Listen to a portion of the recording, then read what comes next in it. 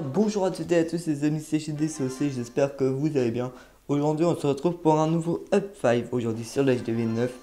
Donc comme vous pouvez le voir, l'HDV 9 a quand même pas mal évolué, je pense, depuis le premier Up 5 qui est sorti il y a, je pense, un mois peut-être. Donc vous pouvez voir que l'HDV 9 a pas mal progressé, surtout au niveau des remparts. Parce qu'avec l'or, je me suis concentré uniquement sur les remparts.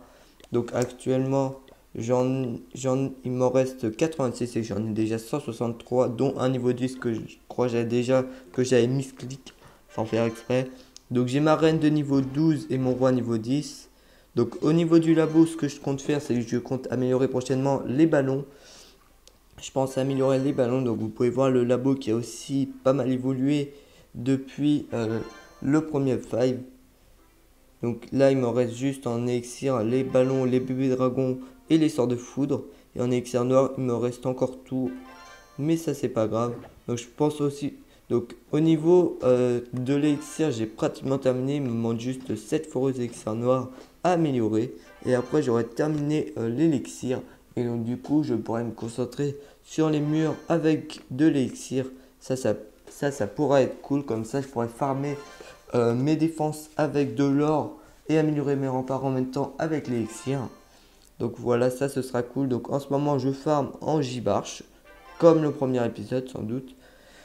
Donc euh, voilà, pas grand chose à dire de plus sinon, mis à part que l'HDV 9, que le compte est maintenant renommé GDCOC depuis quelques vidéos et qu'il est niveau 100. Hein. Je pense qu'on n'avait pas dépassé les 100 euh, lors du premier épisode.